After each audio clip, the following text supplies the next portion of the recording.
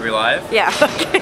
Alright, so there's really two ways, two variations to hit the rear delt machine, depend on if you want to isolate your rear delt or if you want to work more of our mid back and traps. So the first way, if you want to hit our rear delts, we're going to keep our grip neutral and we're going to let our scapula peel forward. That's going to put our rear delt in the optimal position for it to contract.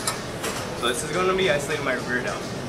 Now if you want to work more of our mid traps and middle back, we're going to grab the machine on the outside, keeping our wrists extended and reaching for opposite walls and keeping our scapula back. Like this.